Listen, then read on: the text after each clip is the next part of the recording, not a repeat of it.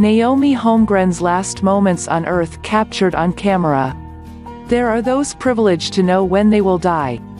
And there are those who have no idea when exactly the curtain will fall. When Naomi visited the United States to touch base with her one and only loving daughter. Little did she know that she was saying goodbye to her loved one. She traveled to the United States and she did meet her daughter as had been planned. What is more? She even celebrated her 65th birthday in the United States. It was an interesting experience that she must have enjoyed without the knowledge that it would be the last time she was meeting her daughter.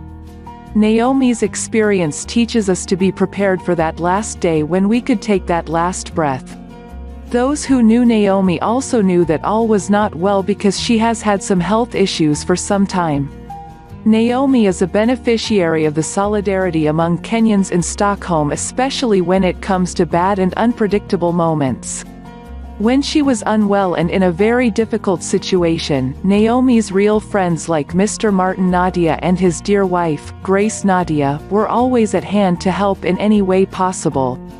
It is not therefore a surprise that one of the last people to talk to Naomi 24 hours before her lethal stroke was Mr. Nadia himself, the chairman of the Kenya Red Alliance. They organized a meeting that never happened.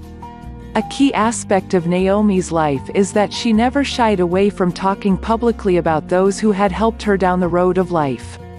But that is just a passing comment about Naomi. If you ask anybody who knew Naomi about what he or she remembers about her, the most likely answer is that she was a person who loved three things. Prayer, preaching and encouraging people in whatever they were doing in their lives. Most importantly, Naomi was the type of person who would talk positively about people she called friends especially in their absence. Naomi will be remembered as a person who loved to preach the word of God and to encourage people. Every time the issue of prayer was posed in a meeting during a planned gathering, Naomi's name would be the first in the list. Interestingly, Naomi would abandon anything in her personal program to be present at a meeting as long as she had been requested to help with prayer. She never discriminated on ethnic, religious, sectarian or racial lines because she believed that humanity is the same. Just like everybody, Naomi had her difficult moments. But you could never know because she battled her wars quietly as she prioritized her mission of serving God.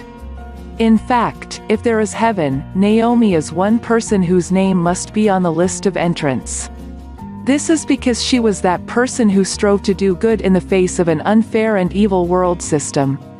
In celebrating Naomi's life on earth, and in remembering her following her sad demise, there is no doubt that those who knew her have a lot of things to learn about life.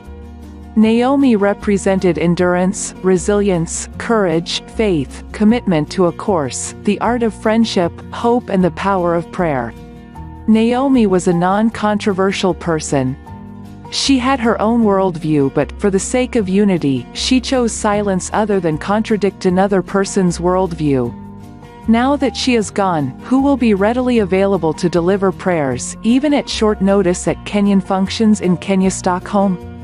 Who will be the next storyteller, sometimes for hours without boring the audience? When did you last meet someone and the last word he or she left you with was for you to believe in God and read the Bible?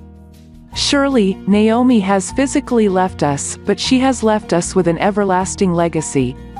A legacy of trust, godliness, reliability, spirituality, lasting friendship, patience, holiness and hope in the life hereafter.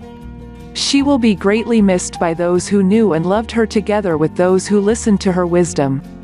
Those she supported emotionally especially during difficult moments.